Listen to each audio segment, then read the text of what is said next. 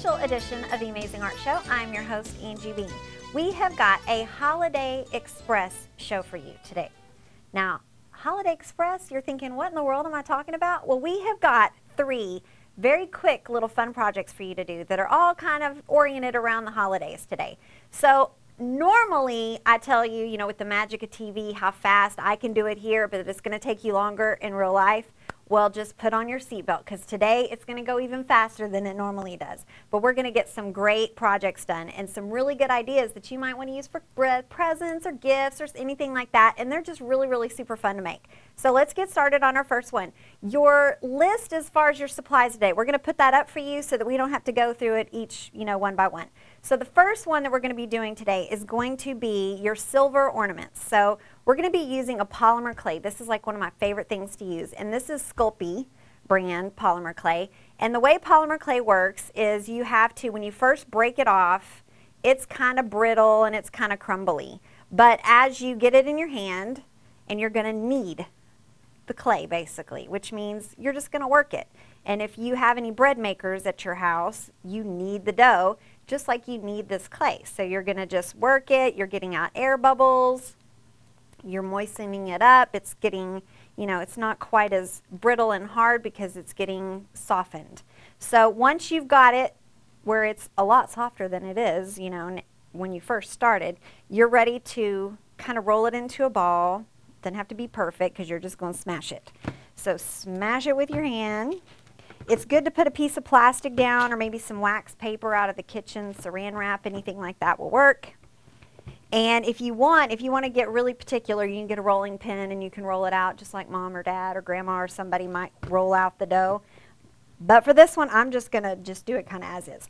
I'm going to be using a, a big shape so that you can kind of see what I'm doing a little bit better, but the smaller shapes work too. These are like little miniature cookie cutters. So you can do them really small. These are just kind of symmetrical shapes. But over here, I've got, you know, if you wanted to do holiday shapes, you know, there's all different kinds and you can get them in packs. They're all on sale right now, so you can get them for a really good price. So I'm going to take my little cookie cutter and I'm going to press it down into the clay. And I usually like to give it a couple little wiggles. And then I usually pull off my extra clay. And now I'm going to push my little star shape out.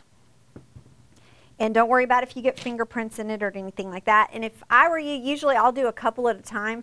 So I'll re-roll this and I'll press it back out again and I'll do a couple. So the next part is kind of the most fun part, I think. And that's where you're going to put some kind of a texture into the clay. So remember, texture is it's going to give you some kind of of some kind of a feeling. So it's smooth, it's bumpy, it's lumpy, it's sharp, it's, you know, pointy. So you want to think of something that you can press into the clay. So you could use rubber stamps work really, really good. I've got several of those. I've also got these um, texture plates that are for things like this, where when you press it into it, it's going to give you some kind of a pattern. So I've got all kinds of things in there. If you don't have any of that, the bottom of your shoe has some great texture on it, so you could use that. Um, I'm going to do, I've got this little rubber stamp here and it's just got some lines and things in it. So I'm going to just take this and I'm going to press it firmly down onto my clay. You want to give it a few little wiggles and then very carefully you're going to take it off. And you're going to need some kind of a tool. A toothpick works great. And you're going to want to put a hole in it and usually what I tell the kids is kind of put the hole in and then if you'll kind of wiggle whatever instrument you use, just kind of wiggle it around a little bit and it'll give you a hole because you're going to cook this. And as you cook it, it, you know, the hole will get a little bit smaller as it cooks. So um, you want to make sure that you make it a little bit bigger than what you really need for it to be. So kind of stretch it a little bit. All right, so um, you are going to cook this in a little toaster oven at around 250 to 300 for like 10 minutes. It goes super, super fast. And when you get done, you're going to have, you know, shapes that look like this, but they're going to be, you know, super, super hard because you cook them. So the next part, you are going, now this is, sounds really, really weird, but it's super, super fun. At the hardware store, they have got this aluminum foil tape. And I saw this stuff and I was like, oh my gosh, that's the coolest stuff in the whole wide world. I have no idea what I'm going to do with it, but I've had so much fun with it since. So it's not very expensive. Mom or dad might even have some out in the garage. You might check with them. And you're going to get a little bit of that. You get a lot of bang for your buck. And you're going to just kind of cut it into some smaller little strips. And then you're going to very carefully, I've got some clay in there, you're going to very carefully peel the back off. So you have to kind of find the back and very carefully peel it off. And then you want to place it on top of the clay and you can kind of mash it down with your fingers. And then we're going to talk about edges in just a second. So mash it down really, really well. And then I want you to kind of look at it and if you've got a place where it needs to curve, you may want to do a little cut with your scissors. So I don't have too many places that need to curve, so I can probably actually just make this one work as is. So I'm just going to kind of fold it down. I'm going to end up with a little bit of a line there. It doesn't have to be like super perfect or smooth. And just kind of work your way around. You're going to have some places where you're going to have clay still exposed, and that's okay. We're going to work on those in a minute. And you're going to press this down all the way down press this down onto the back and get it to lay down as flat as you can. Your extra pieces that you have, you're going to basically piece onto the back so that you don't have any of the clay left showing. So if you've got like a little place here, take a little bit of this. You don't even have to use all of it. Just take a little bit, wrap it around, and then trim off what you don't need and save it. And then you can actually, this is a good example of where you might need to do a little cut. So I'm going to do a cut right here so that I can get this to lay down flat. And then I'm going to take this piece and it'll lay down on top of that. And then I can take this and I'm just going to keep piecing this until I get the whole thing covered. All right. But remember, we're going super speedy today, so I'm stopping right there.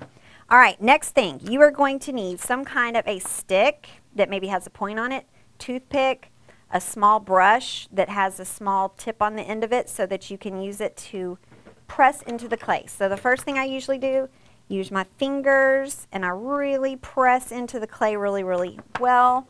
And then that's when you're going to get your stick. Now it's going to look pretty good just doing that, but you're going to get your stick and kind of just start going over everything. And as you go over it, you're going to start to see your pattern that you, your texture that you pressed into it will start to appear. Now, it takes some work because at first you do it and you're like, oh yeah, that looks great. But if you keep working at it, it'll get to looking even better. So it's one of those things that kind of takes some time. So I'm going to show you a couple that I've already been working on. So here's one that has snowflakes. And this is after many, many, many minutes of, you know, really getting in here and getting into all these little fine little crevices all right? And then here is another one, and I'm going to show you this one because I've got one last little, two little steps for you.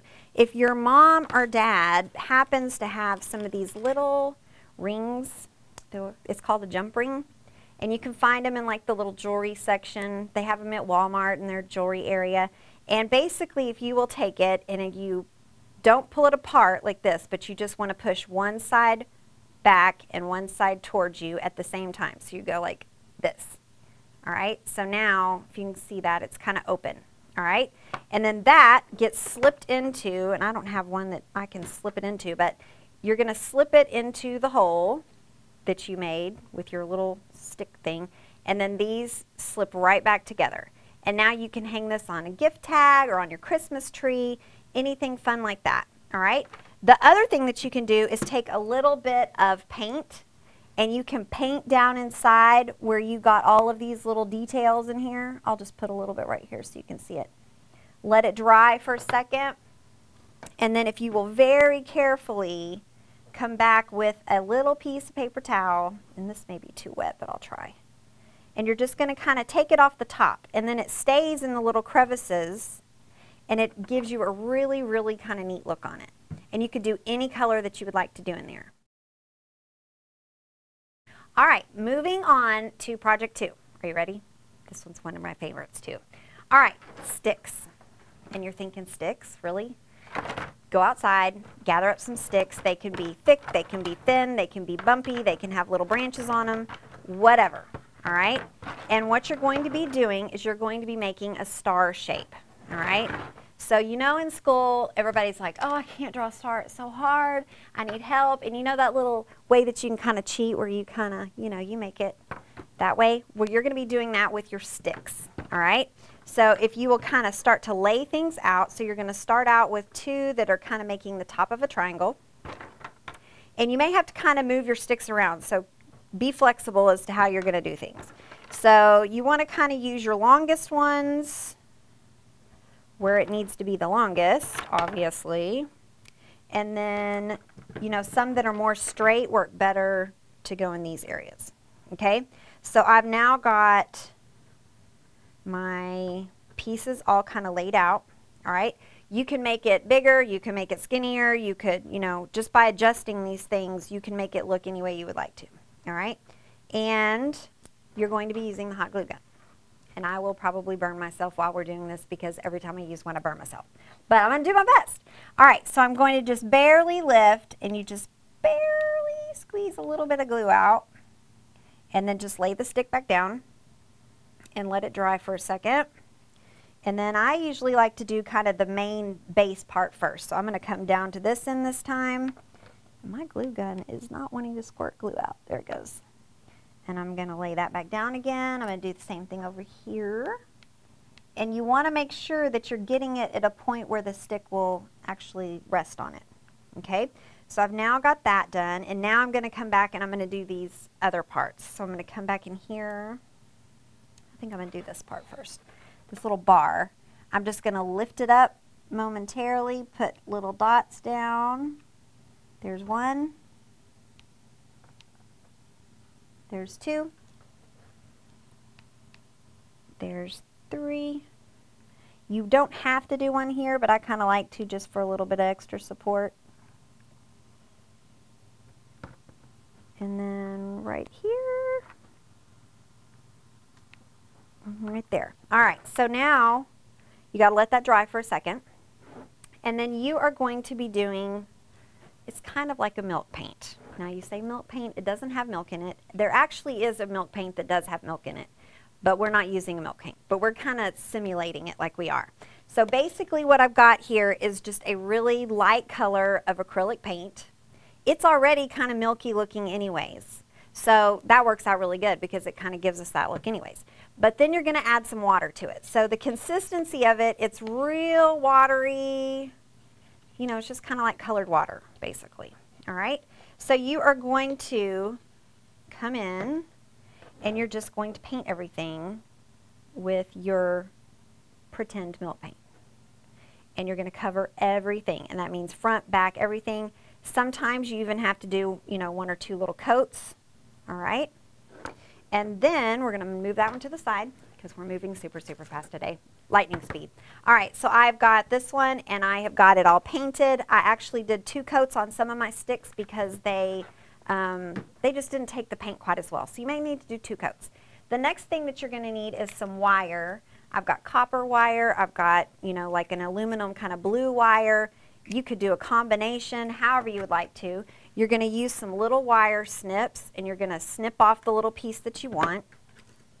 And even though you've glued on your edges there, you're going to just come back. It's kind of more decorative and you're going to wrap your wire around your joints basically. Your joint is kind of like kind of like your joints. They join two things together. So you're going to just kind of go around and around and then usually I like to go underneath and come back up again. And you can even make it where you make a little um, hook to hang it by. So you can kind of bring this up, leaving a little bit of a hook there. And this end piece, kind of pinch this together. You can just kind of go around a couple times. And then tuck any wires that are still hanging. And then you've got a little hook that you can hang it by out in the trees on your Christmas tree. Looks awesome. Um, the other one little thing that you might want to think about doing is if you want to, you can leave it just like this if you want, or if you want, you can also put some like an iridescent kind of paint on it and it'll just give it a little bit of sparkle.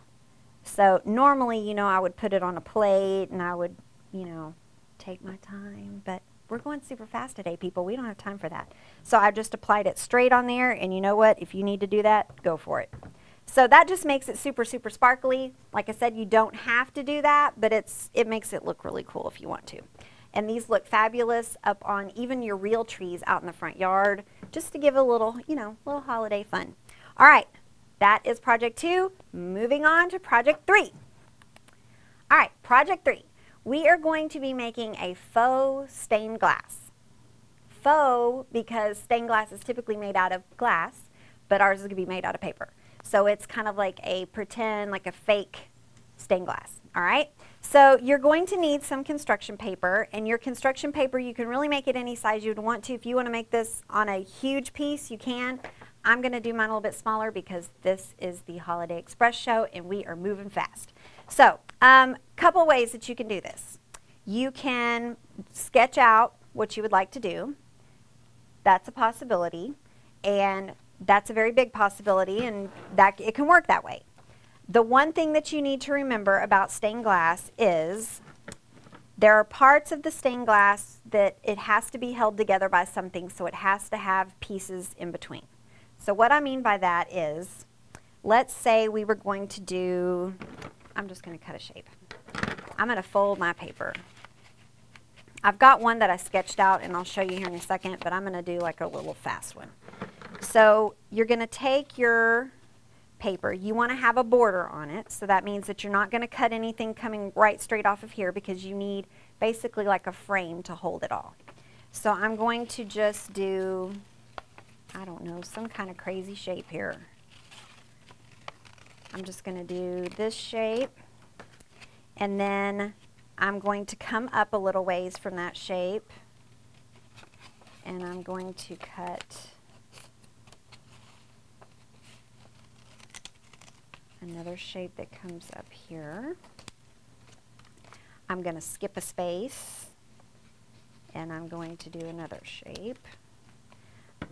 So now when I open this up, I've got a candle.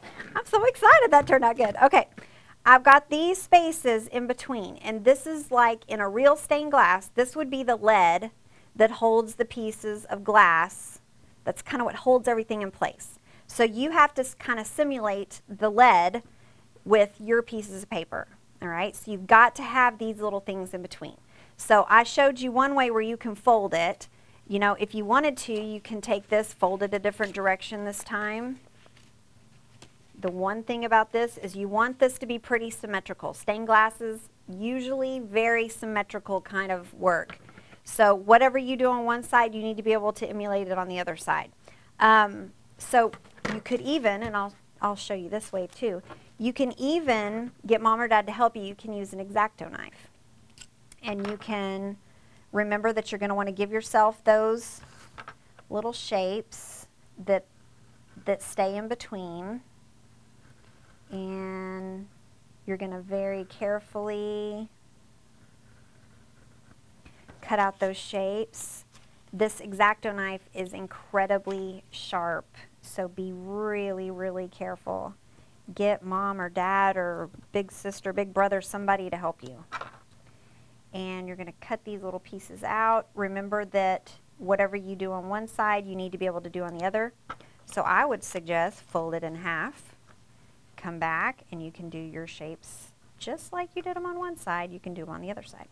You want to put something underneath you, like some newspaper or something underneath so that it doesn't cut the table. I'm being very careful to not go too deep, which is why I'm having to go over it a couple times. But I'm trying not to cut the table because I don't have anything underneath. But newspaper works great. Old magazines work great. That gives a good use for those old magazines. All right, so I'm just going to pop these shapes out. And I probably, you want to you want to have lots of shapes in there. So you don't want it to just be, you know, one little thing. You want it to be very, very interesting. So I've now got some little lights that kind of radiate off of it. I think I'm going to go back to doing my scissors. So I'm going to fold this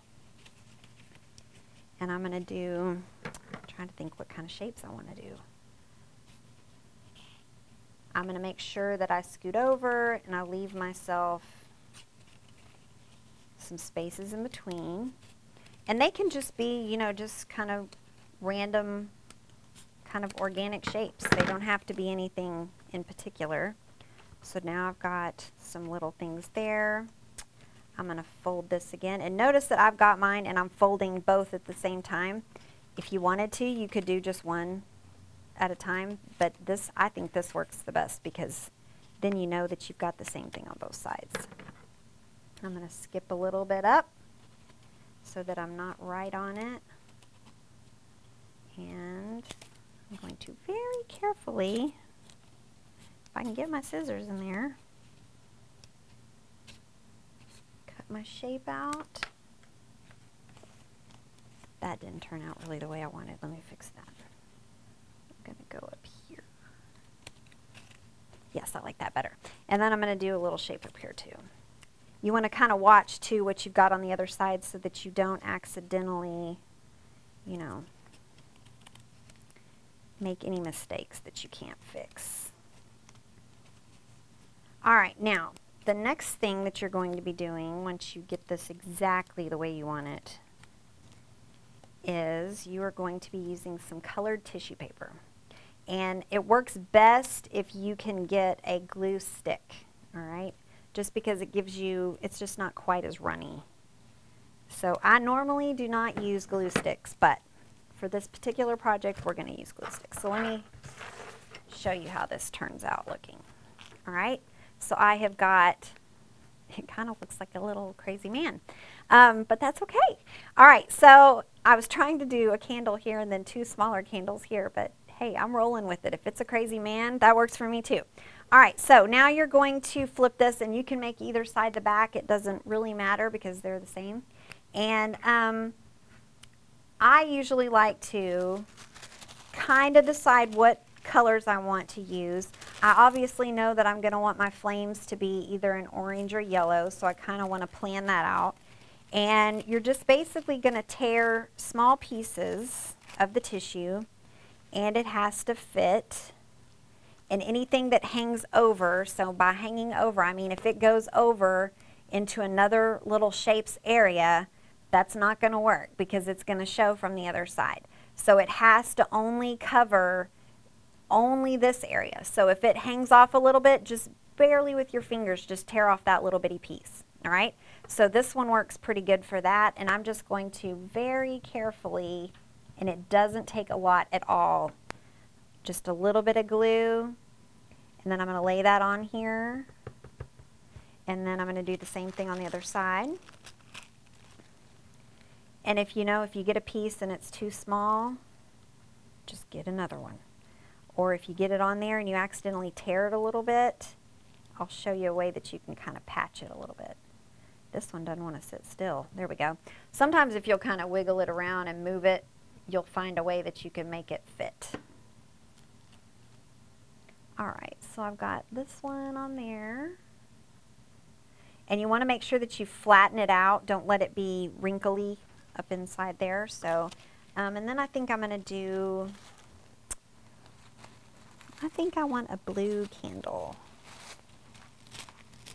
So I'm going to tear kind of a longer piece off and I'm going to lay it on there. That way I can see where I need to kind of tear it because I don't want it to go into that other shape. And this is one of those things you just have to kind of be patient. Keep laying it on there keep tearing off what you don't need. There'll be lots of that. So that's why I usually lay it on there first and see what do I need to take off and what can stay.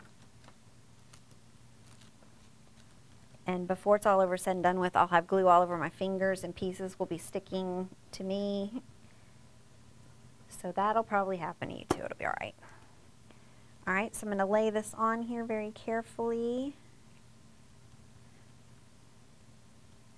and sometimes you may need to shift it up just a hair. So just kind of slide it very carefully. And once again, make sure that you make it flat. Don't let it have any little wrinkles in it. All right, I'm going to purposely do one that is a little bit short. So if you end up needing to fix something, I'll show you how to do that. All right, so I'm going to tear this one like, oh, yeah, this is going to fit, and then I'm going to make it where it doesn't. And it's already sticking to my fingers. All right, so I'm going to do a little bit of glue. Going to lay this on here. And I got it too short.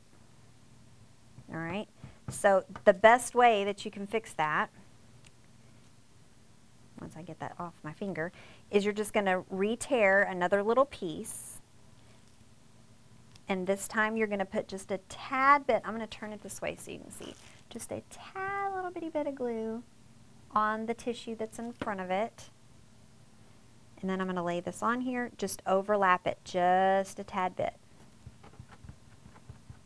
All right, so now I've kind of patched it, and when I flip this over here in a minute, you can see that you can't even tell that you patched it at all.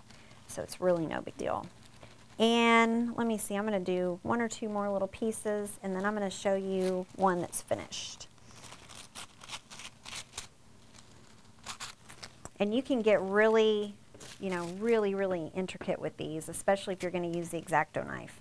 But make sure, if you're going to use the X-Acto knife, you really need to get some help. And make sure you put it on a surface where you can cut. One time, when I was probably way too young to be using the X-Acto knife, I did. And let's just say I have the scars to prove it. So be really, really careful because it gets away from you. You think, oh, I can do this, no problem. And then all of a sudden it just goes, whoop, because that's exactly what happened to me.